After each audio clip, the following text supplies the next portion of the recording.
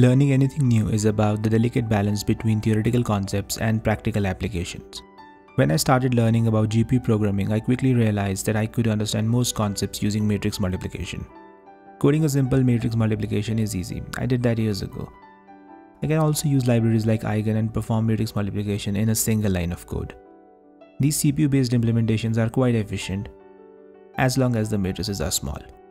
NVIDIA cuBLAS says something similar and it's blazing fast so I thought it would be fun to try and get as close as possible to this level of performance. Each output matrix element is computed using a combination of a row and a column of input matrices.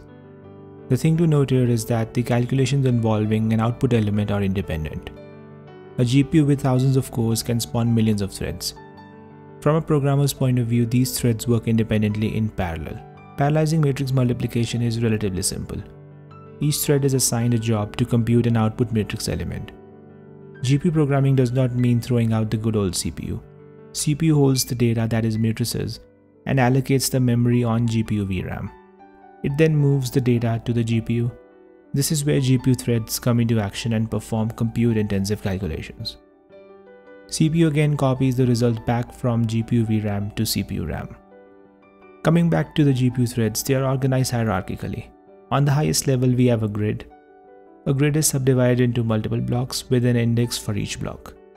Each block consists of multiple threads. The only condition is that the thread organization inside each block is same and the maximum number of threads in a block is 1024. Threads in a block can also be arranged in higher dimensions. The same thing goes for the grid. A weird thing here is the notation. The x-axis is horizontal and the y-axis is vertical. Don't ask me why, Nvidia went with this and I'm sure they had their reasons. Let's now look at matrix multiplication in detail. Consider a simple 5x5 matrix multiplication. To solve this problem, I generate a grid with blocks with 3 threads on the y-axis and 2 on the x-axis. I will need 3 blocks along the x-axis and 2 along the y-axis to cover all the output elements. For parallelization, I'll map the thread's x-axis index to the output matrices row index and the y-axis index to the column. There are a few threads outside the limit of the matrix. I can turn them off so they don't corrupt the final results. Now, each thread fetches a row and a column of input matrices, perform a dot product, and stores the final result. When I benchmark the code, it's not too bad. Let's see what cuBLAS does. To be honest, that's a little embarrassing. Whenever something like this happens, I take a step back and put effort into understanding the fundamentals. In this case, that's GPU hardware. The GPU is organized into an array of streaming multiprocessors. Each SM has several processing units called CUDA cores that share the same control logic and a small on-chip memory unit. There is also a larger off-chip memory called global memory or VRAM.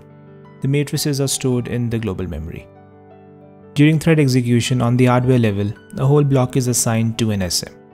Multiple blocks can be assigned to a single SM, but the main point is that the same SM executes all threads in a block, and a programmer should not assume any order of execution of these blocks. This is done to ensure the algorithmic correctness irrespective of the GPU specifications.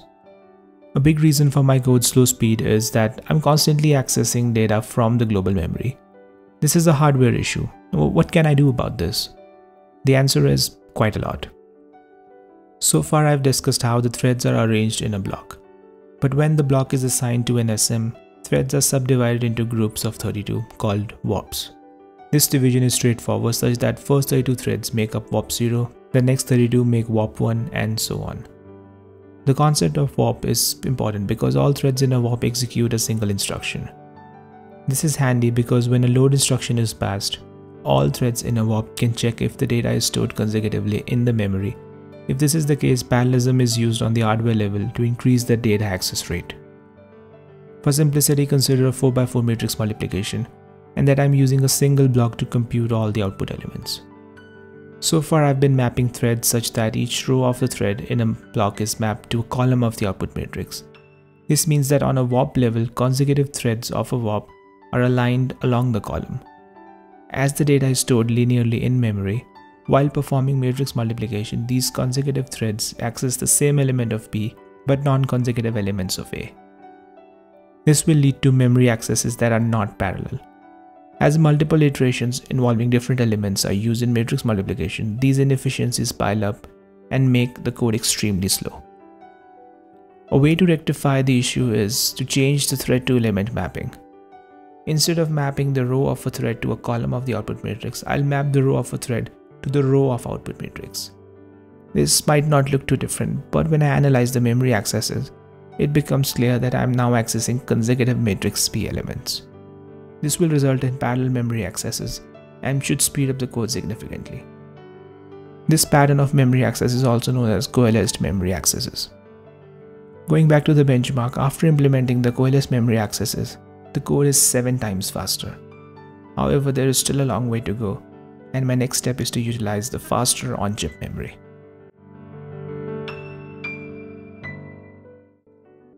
Looking back at the GPU hardware, shared memory is one component of the on-chip memory unit. This is a big deal because accessing data from it is quite fast. Let's use shared memory for a simple 4x4 matrix multiplication.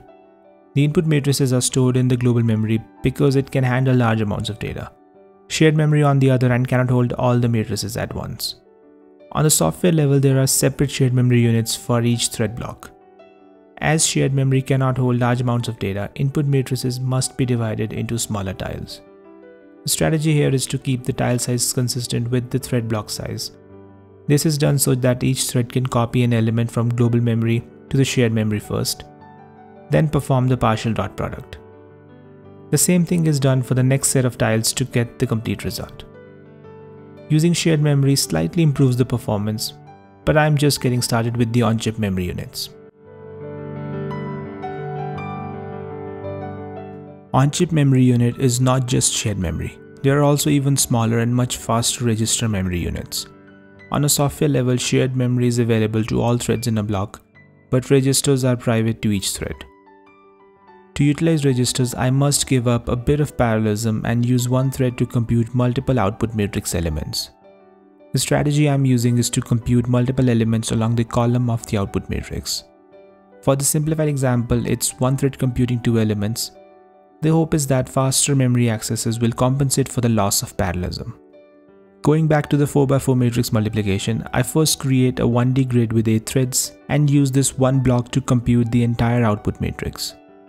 Here I can redistribute the threads so that I'm following rules for memory coalescing. As always, this block has a shared memory and a register unit for each thread. Now I have 8 threads at my disposal and I need a 4x4 output. An option is to copy a 4x2 tile of input matrix A and a 2x4 tile of matrix B ensuring coalesced memory accesses. Once the tiles are in shared memory, I copy the first row of tile B into registers. The next step is to perform the corresponding dot product using the elements of tile A in the shared memory and elements of tile B in the registers.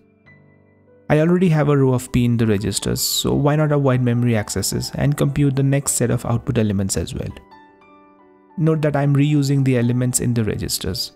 This should result in massive speedup as I'm not constantly accessing the shared memory. Once I finish this, I copy the next row into the registers and repeat the same process.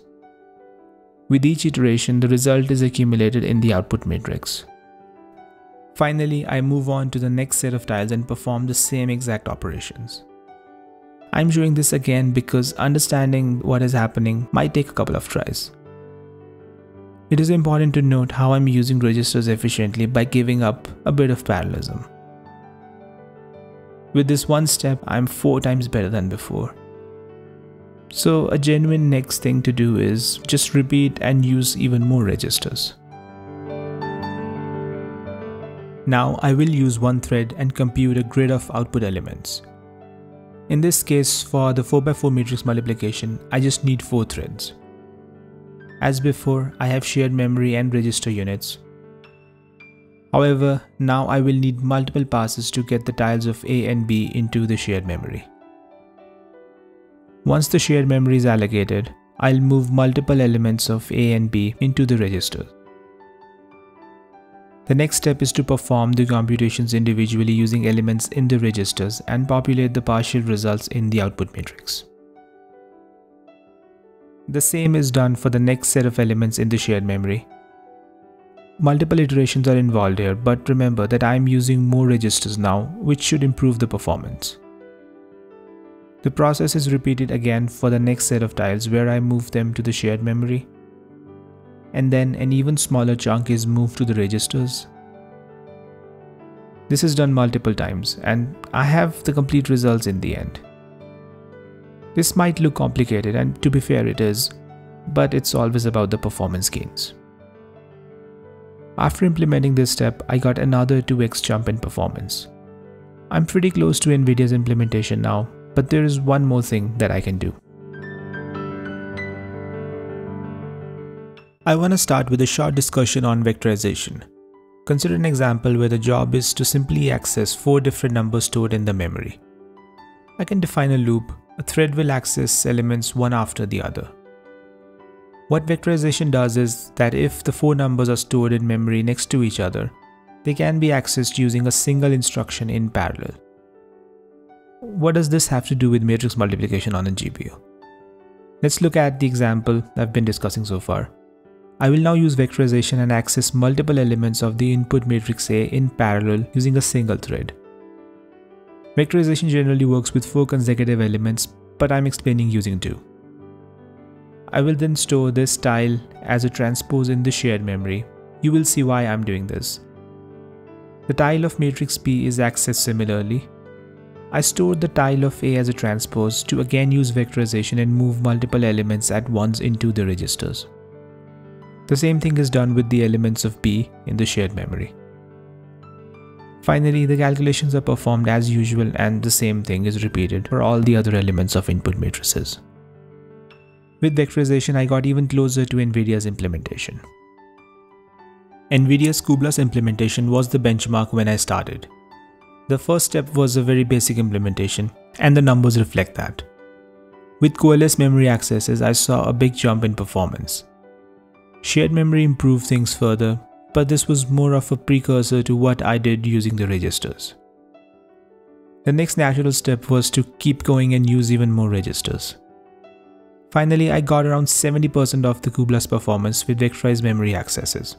There is still some room left for improvement, but I need time to wrap my head around whatever I've done so far. As always, I've made the code available and wrote a series of blog posts where I go over each and every line of the code in detail. Thanks a lot for watching and I will see you next time.